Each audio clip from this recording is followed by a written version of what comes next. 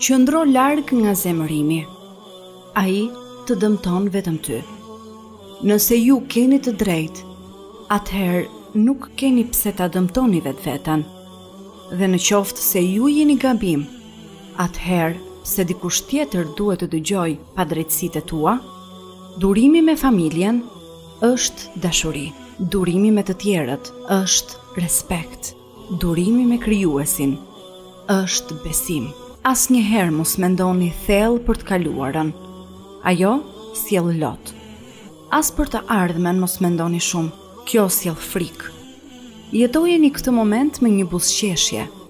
Kjo sjell gëzim. Çdo sprovë apo privim në jetën tonë na fundos ose na bën më të mirë. Zgjedhja është e jona. Nëse ne bëhemi viktima apo fitimtarë.